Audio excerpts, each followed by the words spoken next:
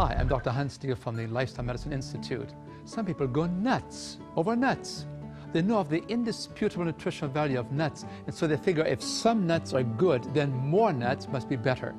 But with so many people already struggling with overweight, we need to recognize that nuts are like dynamite.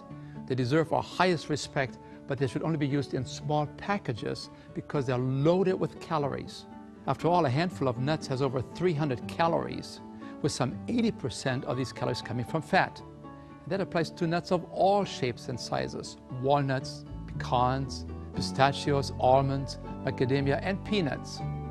Here then is my health tip for today. Nuts are wonderful food if eaten in moderation, maybe like an ounce, which is a quarter of a cup or about 20 walnuts or almonds a day.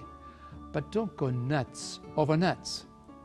Treat them with the respect they deserve, a nutritious food loaded with calories. Maybe that's the reason why most nuts come to us with hard shells.